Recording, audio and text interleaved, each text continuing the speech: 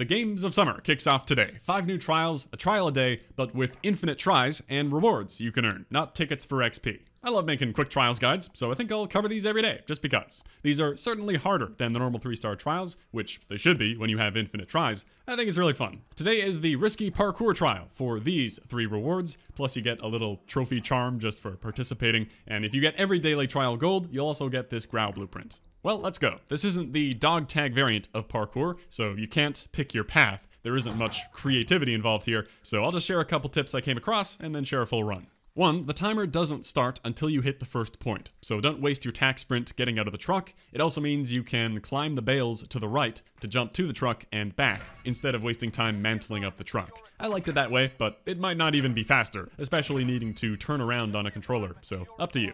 There are a couple crates down there that I never used, they didn't seem helpful at all, I just like jumping back to the overhang. When you're jumping box to box, it's good to land on the side closer to you because you always want enough room to build some sprint speed and have a full strength jump, or in some cases even get a quick super sprint in.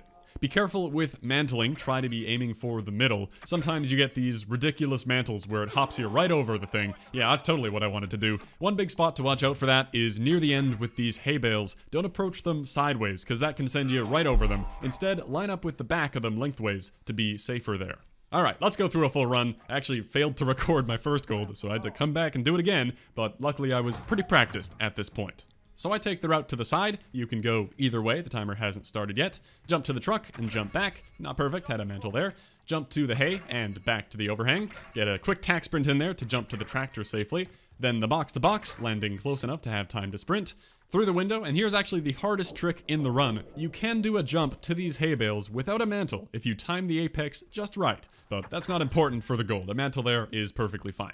Then you want to try to get in a tac sprint on those hay bales and a quick turn for a big strafe jump over to the opposite hay bales in a diagonal there. Otherwise, you'll land on the stairs or the platform and waste time going around. It isn't in the gas, so you could jump to the platform if you have trouble with that jump, but I think it's best to go for the big jumps early in the run so you have time to take it safe later on. Like here I start to slow down, hopping through that window, only normal sprint through here. You always want some tac sprint available for big jumps. I even walked on the truck here to make sure I had some ready.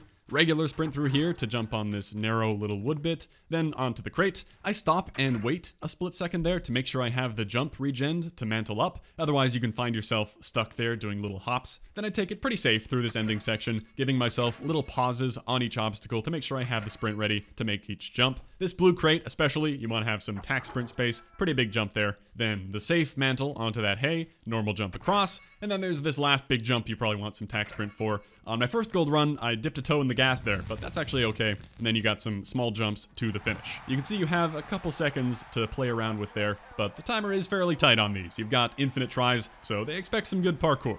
This one's mostly going to come down to your movement skills. There isn't much of a guide I can make for a set path parkour, but I'm looking forward to the gun course trial where I can really try to optimize and line up collaterals. Also looking forward to seeing these leaderboards to see people with their insane times. I have no doubt you can perfect this much further. Well, good luck and thanks for watching. I'll catch you next time.